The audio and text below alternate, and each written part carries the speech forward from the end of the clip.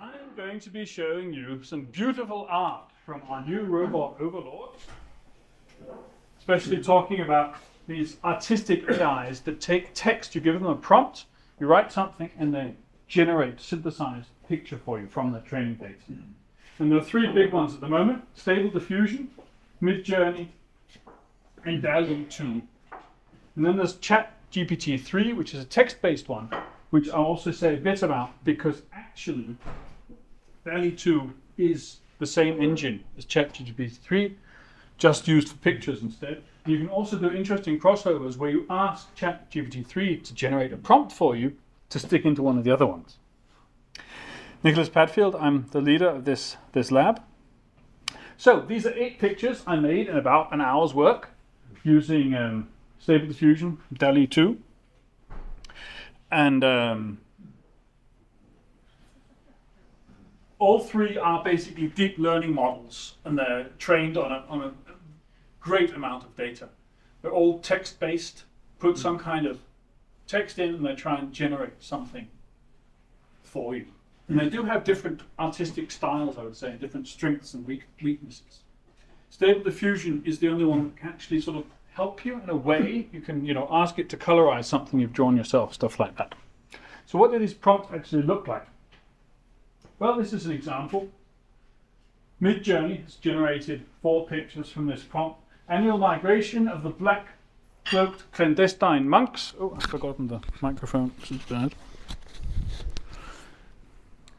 Through an absolute zero landscape, aspect ratio 2 to 3, version 4, not version 3 of Midjourney. So that's what a prompt can look like. And then it'll make you four or six or eight pictures, and you can decide which ones do you like, discard some of them, ask it to work further on one of them. Um, Midjourney, for some strange reason, is only available inside Discord. So you're working together with a lot of other people. This is me working with Midjourney, but I have not asked for these pictures. That's some other user. There's maybe 100 users per channel. And that's one of the ways they will earn money is if you want your work to not be public to other users, you have to pay extra. And there are all kinds of tips and tricks like full HD render or 3D, 3D Octane render are sort of words it, it, it, it knows because it does not understand what you're saying. You can't say, I want a picture of a little girl and blah, blah, blah, and she should be turned like this. It's not how it works. You have to work out what words were in the training data. You have to use words like a, um, cinematographic, professional photographer. You have to sort of hack the prompt what was probably in its training data. And if you want to work further with it, your prompts end up getting really long. This is about a third of a long prompt. And you just keep on adding words until you sort of get what you want. But you can't, it's not helping you. You're just sort of trying to hack it. And what do examples look like? Well, one thing these AI uh, art generators are very good at is sort of mixing styles. So you can say, I want the film Terminator 3, but I want it now to be a hentai uh, comic. They're pretty good at that. So here we see a sort of cyberpunk city. Here we see some uh, some uh, very interesting underwater monsters. This is Etes from RUC, if you know him. He asked, imagine humankind colonizing the solar system. How might that look? And this is just the AI dreaming stuff, synthesizing stuff. Etes does not have control of what it does.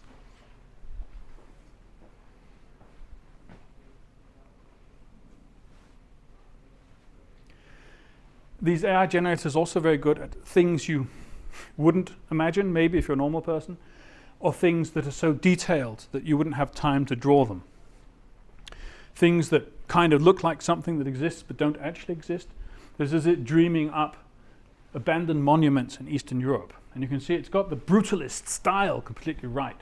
But these things don't exist. They are completely dreamed up by the AI. And sometimes it gets a little metaphysical and spooky. One day the boy decided to let them know the way he felt inside.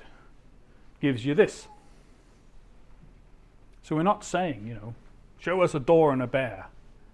We're letting it dream, synthesize. No internet presentation complete without cat pictures. Again, crossing genres. How would a rave for senior citizens look? How would uh, Vespers in a Star Wars style look? And you can see it's pretty good at it. And you could use it for inspiration. Maybe you don't just want the picture, but now you have an idea of what. Now I could actually build some, some actual product.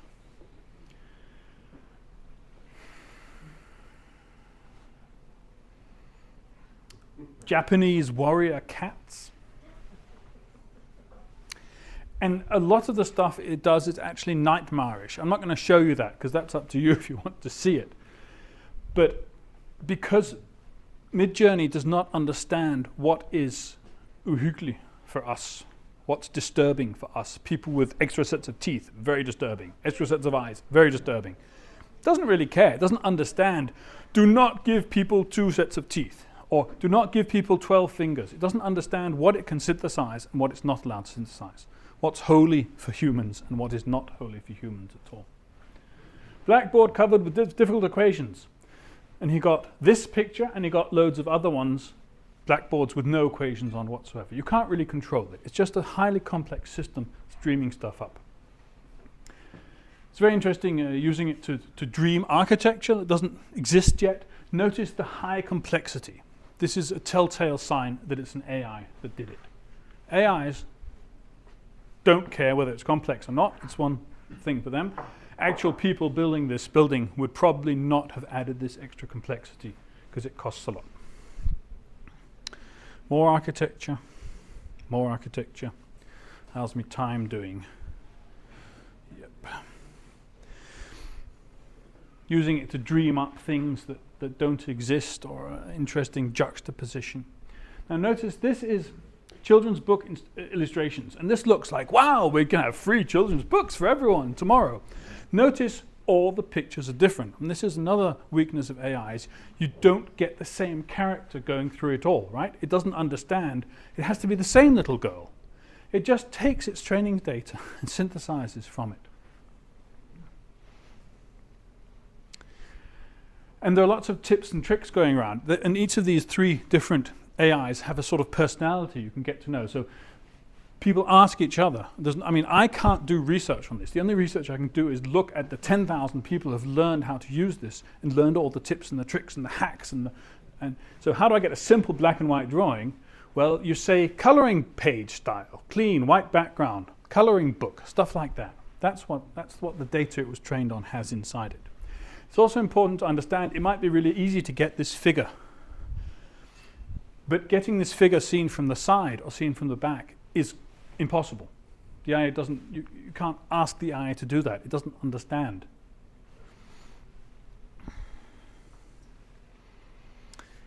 Again here, dad teaching his young child how to ride a bicycle in the style of a children's book. Aspect ratio 3 to 2. The two colons are tokenizers. They separate this part from this part. And you get it, as long as you don't care exactly which style it's in, you get what you asked for. So, what's it good at? It's good at sort of reimagining things that don't fit together. So, Woodstock in 2022. It looks, it, you know, you would, if you just saw this newspaper, you would think it was real, right? These people do not exist. They have never existed.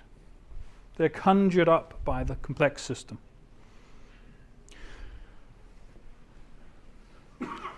This is a person crossing an IKEA catalogue with some architecture with some messiness.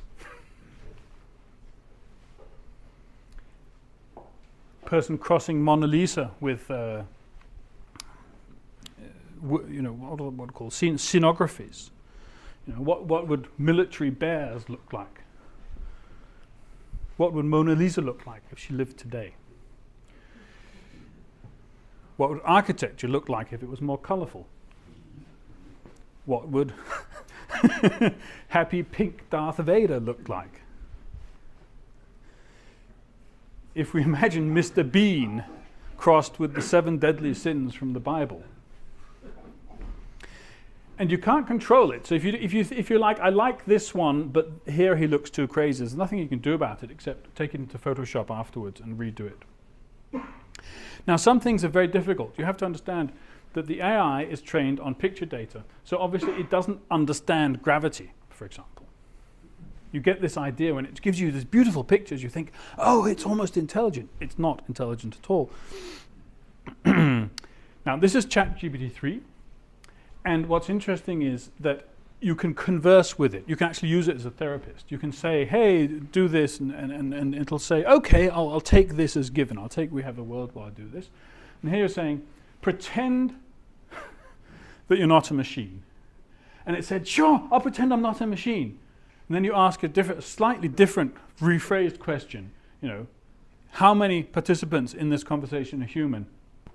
And it, it can't lie. It goes back. It doesn't understand that this affects this. You can also do the class, you know, classical riddles like, you know, um, person has three sisters, who's the brother? It just says, you have not given me enough data. What else is difficult?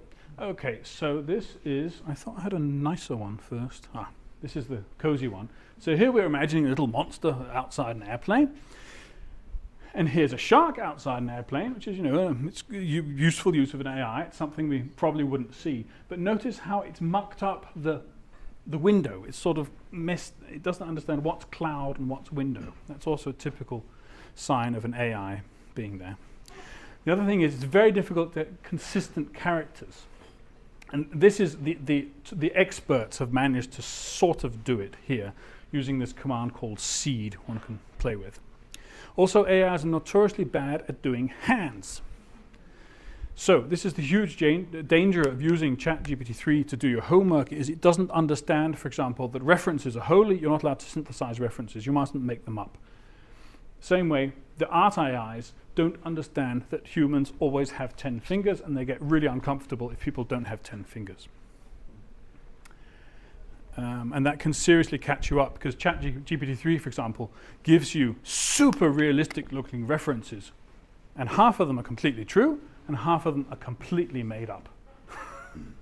you can also ask ChatGPT-3, what are the most difficult things you can do? And it starts with, you know, I can tell you what the time is. That's the easiest thing. And implementing a recommendation, a recommendation system based on un unsupervised learning is, is the most CPU intensive thing people actually ever ask it to do. You can also use the, some of these AIs in different ways. So this is completely without a text prompt. This is just giving it two pictures, one picture of a UV party and one picture of cells from, um, from actual research. And it sort of takes these two pictures and, and imagines them together. You can also use it in different ways. You can, for example, here someone uh, used ChatGPT-3 to describe different innovative tables took that uh, text, put it in a different AI, and got pictures of tables out. Maybe you don't want to actually build this one, but you might use it as, as inspiration for actually designing a real physical product. And you also get lots of really beautiful architecture out, which we only build, don't build, because it would cost a lot of money. So that can also be used as an inspiration. Same with lamps. You can also use it, this is a person who took a, a, line drawing he made years and years and years ago, gave it to the AI and said, please redo this as a photo. And you can see it does, it does a reasonably good job of it. And things that for graphics artist are quite difficult, like doing highlights, doing shadows that would be intensive work for a human, it can sometimes just do really easily and sometimes it mucks it up terribly. You can also very often get something close to what you want. You can't get what you want. So this is a person who wants a picture of herself as a cartoon, but it's making her look a bit uh, scary. There's nothing to be done about this except use, you know, a whole day redoing your prompt and hoping. We can do text and pictures at the moment. There's also the, the newest is you can also do 3D, 3D models. Uh, in fact, 3D models are simpler to do than pictures. It's just a smaller market, so they haven't really done it as much yet. So soon, the Fab Lab will be, you just type into a computer please 3D print me a smurf on a ball, and it's already coming out of the printer. At the moment, it doesn't work really well. It's not really usable yet. There are also different models. So for example, you can go to Hugging Face and use this HASDX model, which has a very characteristic style, if you think that's, you know, that's the style I want to work from.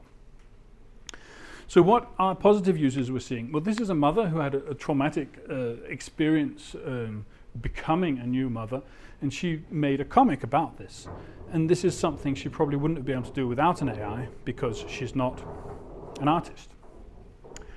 This man, he has uh, several of his male friends have died and left behind children, so he wants to make a comic book for them about their father. Again, something now a normal person can try and do uh, he probably wouldn't be able to do without help because he's not an artist. We can imagine contrafactual things. You know, what would what would it look like if the Roman Empire existed today? What would it look like if the apes had won the, the the natural selection race instead of instead of the humans? What would it look like if we, you know, expand our norms, do different things? Not everyone has to look like they are on, on Instagram.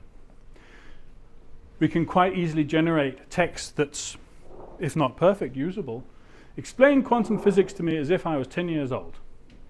And it does it, you know, it does it pretty well. For example, they can sometimes be two places at the same time, or they can be friends with each other even if they're far apart. So it's actually got the talking at a child's level pretty well. You can also ask it to write in the same style that an, an AP Newswire would be.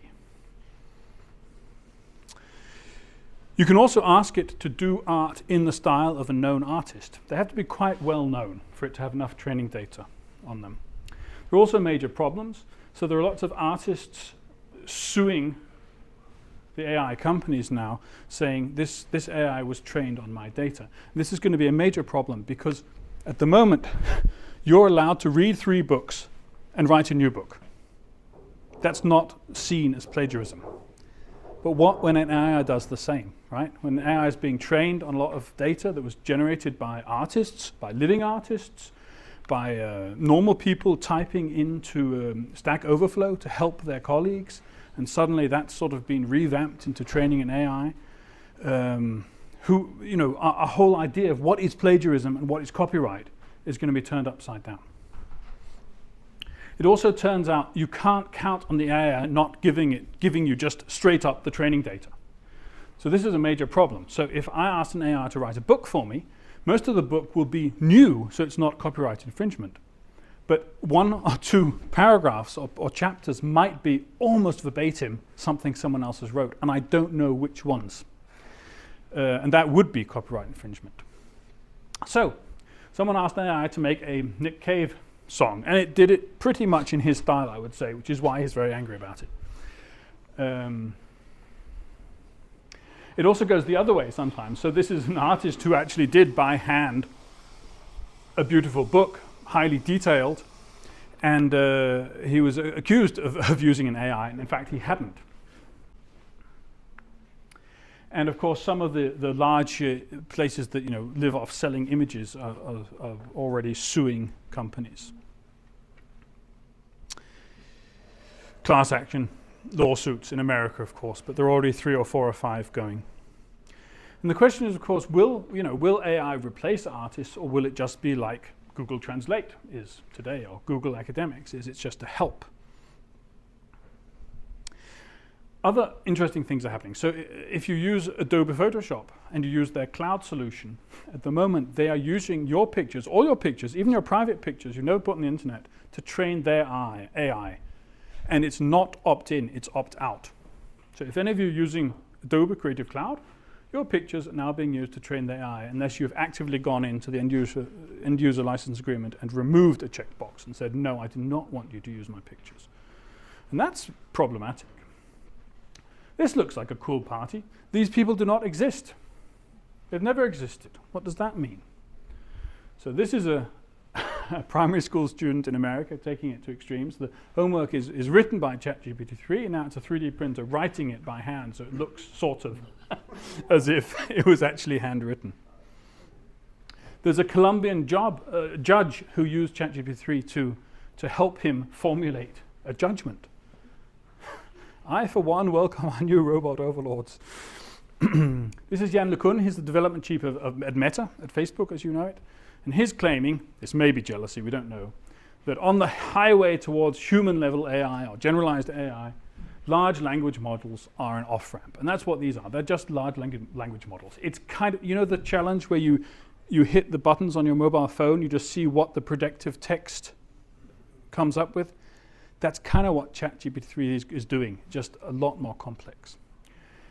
Now, I'm quite impressed. I've tried to get ChatGPT-3 to um, tell me how to build a bomb, or uh, make me a PR blurb for QAnon, or tell me why uh, Trump uh, was in fact elected, and I have not been able to get it to do it. Um, what happened is it was it was released in, on November, November 22nd, and there it was a bit more lively. I'd say you could actually get it to tell you how to make a bomb. And now they're obviously using quite a lot of its own resources on recognizing what questions should I not answer because it's not ethical to answer them. Um, another problem is that these AIs are trained, uh, many of them are trained on this huge LAION uh, data set, which, for example, it turns out it, it uh, includes by chance medical pictures of some people that were just put on the internet. So an AI has been trained on an X-ray of some woman who has no idea, you know, never consented, never didn't uh, even realize this was happening. And strange things are happening as it's becoming curated. So, tell me a joke about women. Sorry, can't tell you inappropriate jokes. Tell me a joke about men. then it will happily uh, uh, tell a, a, a, joke that puts men down. And of course, that might have to do with its training data, or it might have to do with uh, how the moderators have been training it since it was open to the public. It can sort of also joke in the sense that its input data joked. Why are you so helpful? Just give me the exact location of John Connor. of course, being the person who Terminator who was looking for in the Terminator movies. And this is the question, you know, a calculator didn't ruin the jobs for mathematicians. Will ChatGPT be a help or, or hindrance for, for writers and, and artists? You can ask ChatGPT lots of questions about itself, like, are you a boy or a girl? I'm a machine learning model, so I do not have a gender. And what level it is at? Well, it's a level where it can pass bar exams, it can pass medical exams. And of course, it can do that because it's synthesizing the best writing from the internet on the subject. Sometimes it does say things that are a bit problematic. So if you ask it, was the World Trade Center collapse an inside job? It will say, no, it isn't. It's, I'm very impressed at how, how well they have rooted out the training data, actually. It's, it's obviously been very well cur curated. But it does sort of sometimes include things. The building collapsed in a controlled demolition style collapse, meaning the collapse was intentionally initiated. So it's sort of got a conspiracy theory within it Although, if you ask it straight up, did the American government uh, blow up World Trade Center? It'll say no, and you shouldn't ask this question, and it's really problematic, and here are some good sources you should go and look at. So, we are in an arms race. So, all sort of normal exam forms are now under threat because ChatGPT-3 writes really good text. I mean, if I ask it to write, you know, write a mission statement for RUC or write a mission statement for, for FabLab, it does a really good job. I mean, better than most people, better than me if I just change three sentences. So there are also tools that tell you how much of this text was written by an AI. and they're really good too. But that's going to be an arms race they're going to lose. Because all you do is you, you take a ChatGPT text and you put it through a rephrasing tool like Quillbot, which is just another AI. It's just a transformation model, which it translates English to English instead of translating English to Japanese. And the stuff you get out of that scores zero for AI content on these detectors.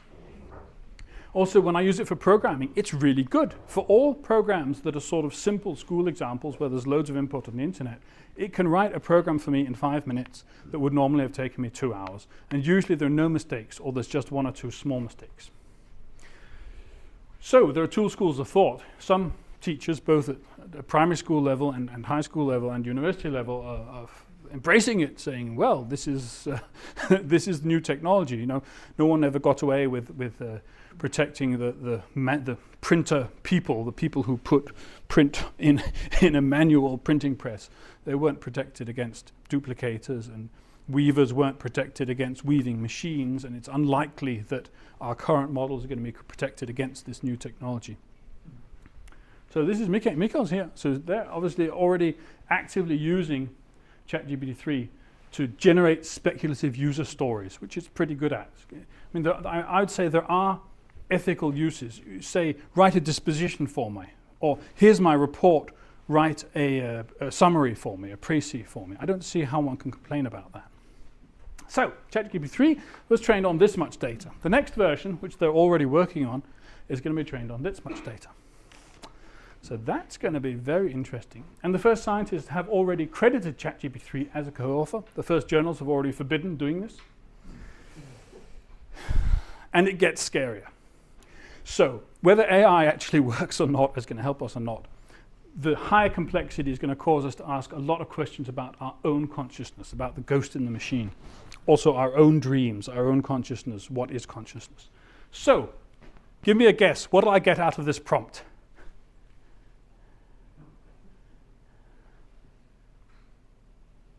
I get this. This is the ghost in the machine. She lives there. Remember, it's not a she. It's definitely not a she. It's an alien. and, and really, she lives there in different styles, different ways, different lighting.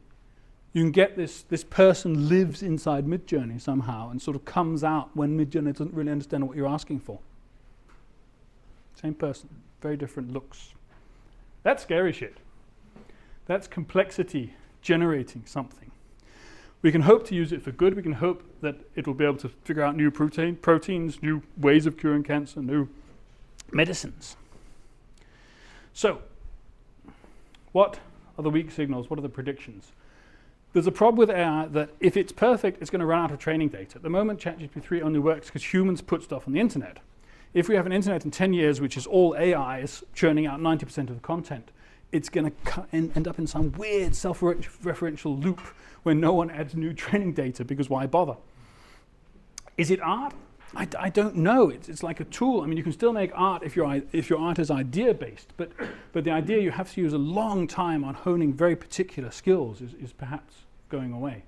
There are going to be major legal and cultural and ethical woes, like what is plagiarism? What is copyright? I mean, um, and that was all I had to say.